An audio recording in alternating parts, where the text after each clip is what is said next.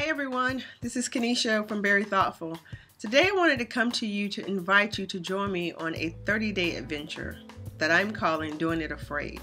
So, a lot of times, most of us miss out on living our dreams or um, even the, like the little things, challenging ourselves to do the small things because we're so afraid, so afraid of what people think, so afraid of failing um, or getting it wrong or just those negative thoughts that happens in our head like how am i going to do that or who am i to try to do that?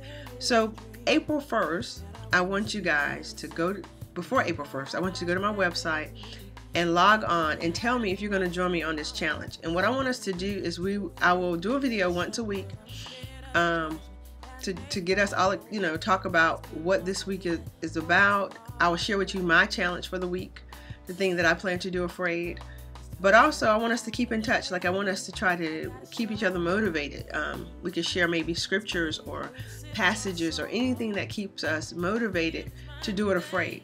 Because the thing about fear, it never goes away. And so when you see people who are living these great lives, who are being amazing, like a Oprah Winfrey or my favorite Tony Roberts, it's not that they they are never afraid. It's just that they've learned to do it with the fear. So let's do that. Let's commit beginning April 1st that we're gonna do this series called Doing Afraid. So if you guys will help me out, join join the the the movement with me. Um, let's do this together. Let's schedule Google Hangouts where we talk about what is the thing that we want to do afraid, and then we can get on the Google Hangout and also talk about ways to encourage each other. I don't care how big or how small it is. Yesterday for me, it was just riding the subway system by myself. We've been in Beijing for a year and a half now.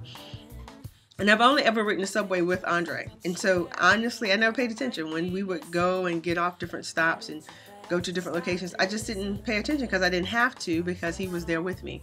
Well, it's getting, it's starting to be nice over here. Um, I spend a, a, lot of days by myself. It's been great. There are days I can be extremely productive with my writing um, and I'm making connection. God is great in that way. I want to share that with you guys too.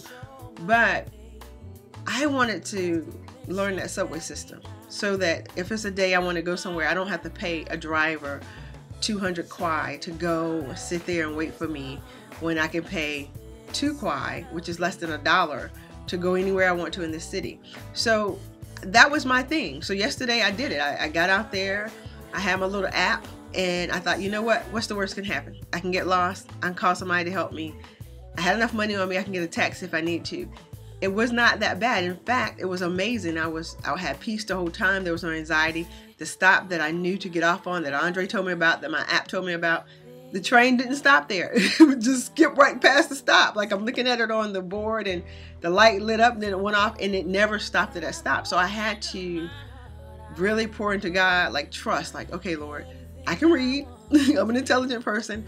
I can read. I can do this. And so I, I looked at my little map, my app, figured out a new route, took it.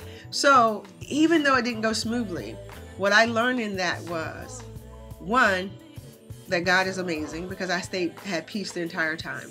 Two, now I have full confidence that I can operate and move in that that subway system with no problem because I had to do it yesterday. So I want us to all start to live our dreams because dreams do not expire. I want us to live amazing lives, great lives. Um, but I know that the greatness that we truly desire is always on the other side of fear. So come on, join with me. Do this with me. So this today is, I don't know, March. Let me see. I have no idea what today's date is.